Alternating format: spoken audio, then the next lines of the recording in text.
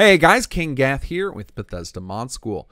In this series of lessons, I am going to start showing you different tips and tricks on how you can reverse engineer either mods or stuff Bethesda has done so that you can learn how to do your own cool stuff in your mods.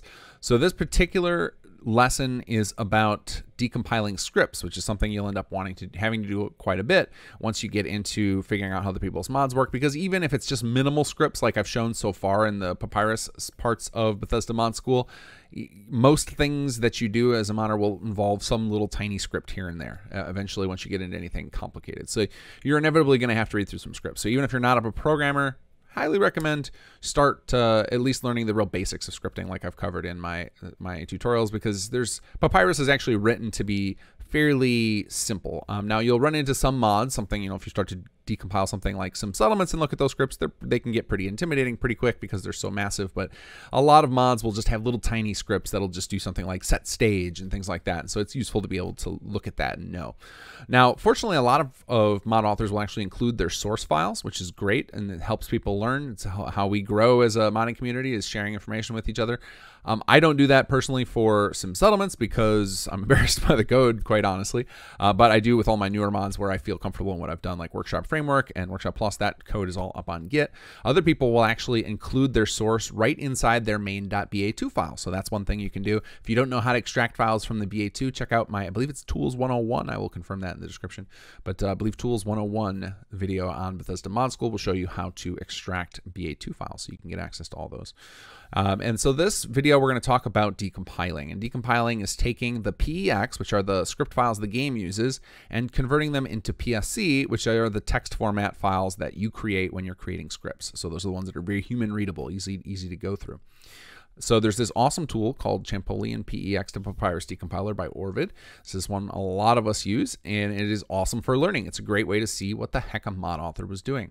Now, I will say a couple of things about this because some people are uh, anti-decompiling. I am not. I am actually very, very pro-decompiling, and I'll talk about a couple of things about this. So first up is, if you're going to decompile people's scripts, give the person credit if you learned anything useful for them in your mod. It's a good, it's a nice thing to do. Uh, another thing is, don't just use a script verbatim, not because it matters matters if you're, you know, changing words and such, but mostly for the name. Like, just don't reuse the same exact name because uh, you're basically setting up a position, you're setting yourself up in a position where your mod will conflict directly with the other person's, and that's just bad form. Um, as far as ripping chunks of code and reusing them, some people are against it. I don't care. Um, I think most programmers now are all standing on the shoulders of each other. We're all learning from Stack Overflow, or in the case of Bethesda modding, we're learning from mods of the past or from Bethesda themselves. So I, I find it silly to try and to try and hide knowledge and hoard knowledge like that.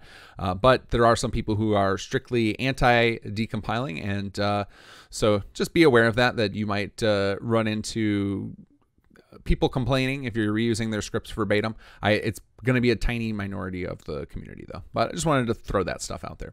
All right, so for for this PEX decompiler, the first thing you would need to do is have the mod uh, that you want to decompile already extracted, those BA2 files. So I have done some of the uh, scripts from SimSettlements. I've already extracted them here, so I can walk you guys through this process.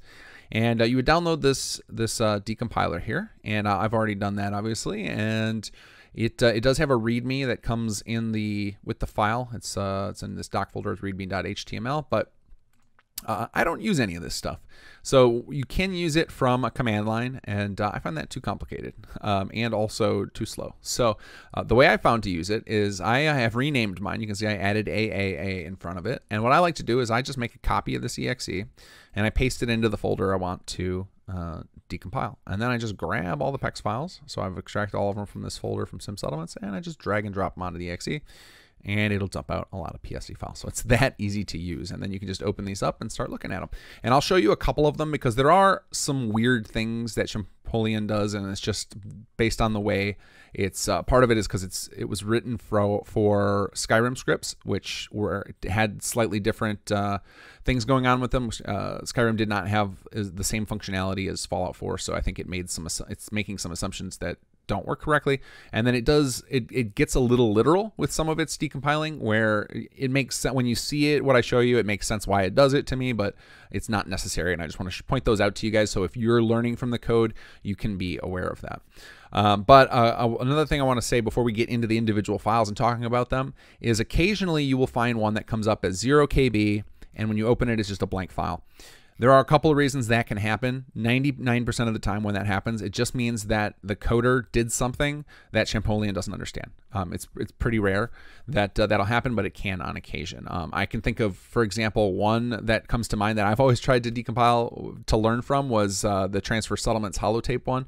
Is that I tried to decompile that, it doesn't decompile naturally. I've since become uh, friendly with Sidante, and he has given me those scripts voluntarily, which you'll find often if you uh, are a uh, if you ask a mod author for their source to learn something, and you can you know you've shown that you are actually a legitimate programmer, not just somebody trying to steal their mod idea. Um, most people are pretty pretty good about sharing source and information. Uh, but uh, there are a small, tiny subset of users who are so anti anti decompiling they have found a way to prevent the uh, Champollion from working on their scripts. I don't know why they have done that, um, but it's actually there's a way to bypass that. It's pretty advanced, um, and I might make another tutorial on that in the future because I, I hate knowledge hoarding. I think it's the devil, especially in the coding field where so much of us have learned from each other um, that uh, hoarding. I don't. I just don't understand why people would hoard knowledge like that. But anyway, let's uh, get on to the individual scripts. So I've got a couple here that will illustrate some specific examples that I want to talk about here. So um, up at the top here, it shows the information. One another thing to be wary of and I is uh, I would always delete this stuff, even though it's telling decompiled by Champollion if you are going to reuse the script, mostly because the username and uh, computer name are legit from that person's computer, and so you could be sharing some private personal information that they maybe don't want shared with the world. So for people who don't, because uh, you know it's a small group of us who will actually use this decompiling who are going to find this information out, but uh, it's best to make sure you don't keep that in any of the scripts that you release. Um, the next thing to talk about are um, structs. So structs are a special type where you can basically, and this is a little more advanced programming stuff, but I'm just letting you guys know. So those of you guys who are kind of still just dipping your toes in the water, um, and you if you are intimidated by this, don't worry about it. I'll cover it eventually in Bethesda Mod School. But um, basically, if you ever see one of these hashtag symbols, the, the pound sign, whatever you want to call it, in the scripts, it's not going to compile. And basically, you would just convert this to a colon, and that'll fix it. So that is just one of those things. I believe I don't believe structs were supported in Skyrim, and so the the decompiler that was originally written for Skyrim did not handle them. So it used a, a, a pound sign, and instead, if you just change that to a uh, colon that'll take care of it.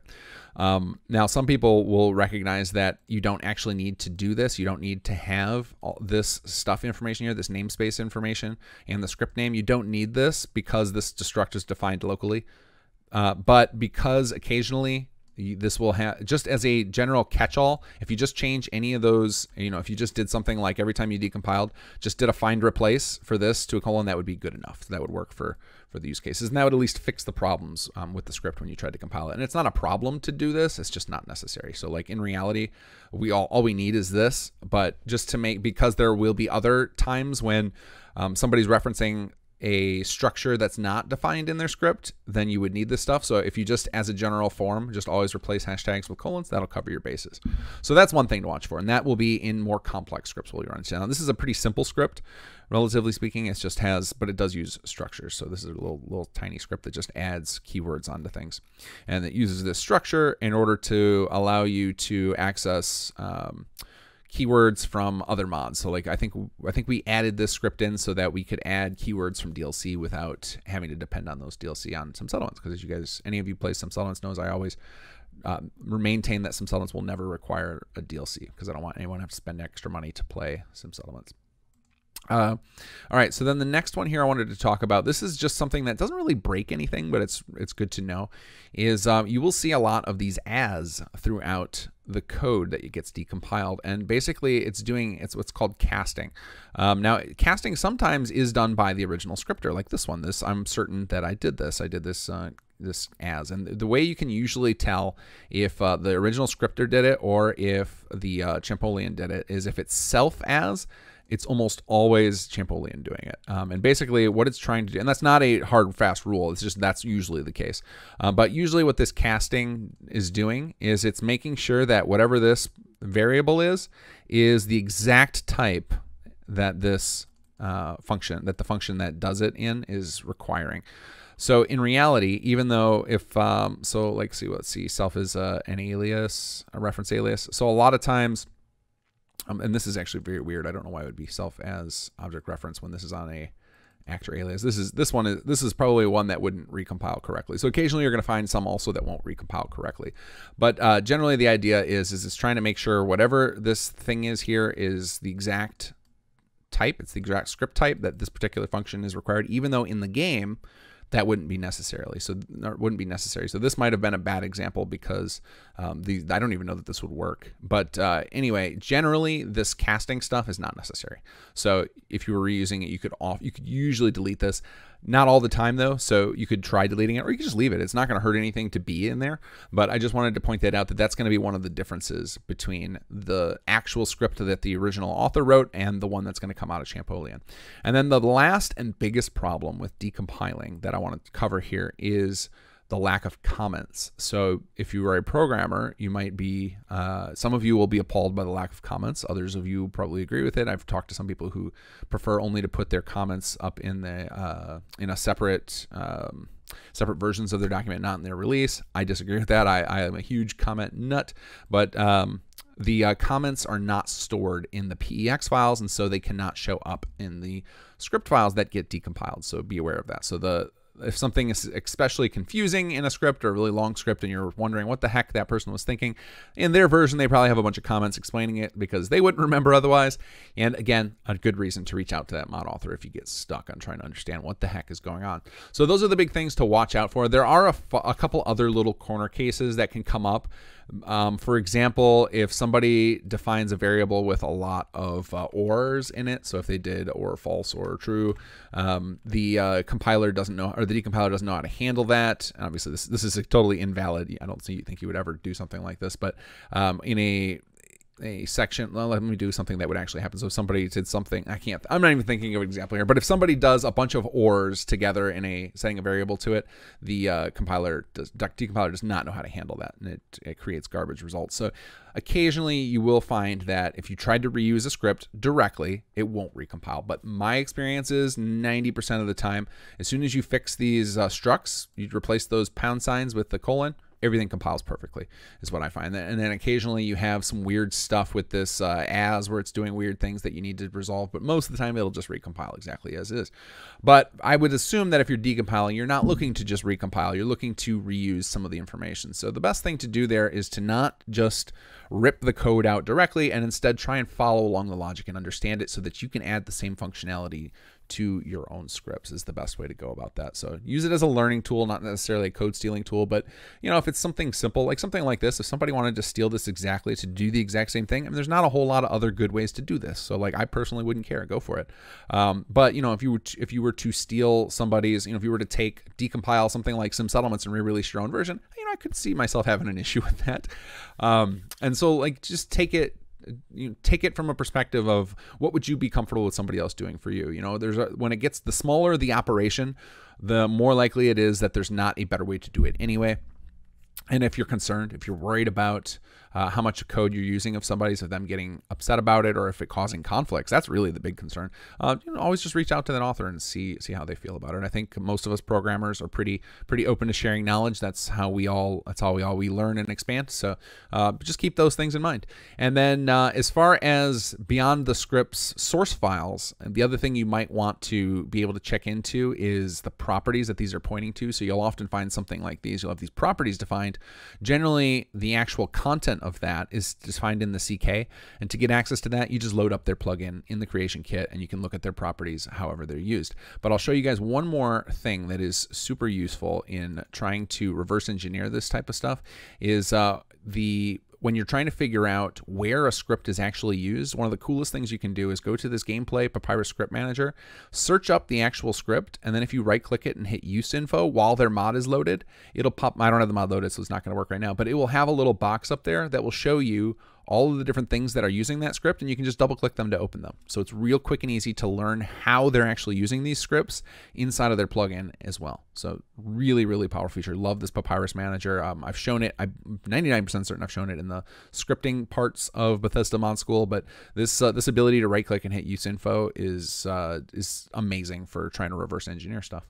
So this was the first uh, lesson in mind. If you guys uh, want to see more from this reverse engineering series, I definitely have a couple ideas for a couple more of these. One of the things I think would be valuable would be to walk through reverse engineering a, one of my smaller mods, something like uh, salvage beacons, and show you guys from the perspective, try and do it from the perspective of a newbie. Or I could take, if somebody, if one of you out there is a mod author, has your own small mod, um, that you'd be okay with me reverse engineering on camera. If you want to, you know, comment below on that, I'd be happy to do that, and that might be valuable to other people to learn my process for reverse engineering. But otherwise, guys, uh, enjoy decompiling those scripts. And like I said, if you're if you're learning, trying to learn something about how one of my mods works, don't be afraid to ask. I will. I probably would never send you the full source to Sim Settlements, um, but individual files telling you how to do individual things, I'd generally be happy to.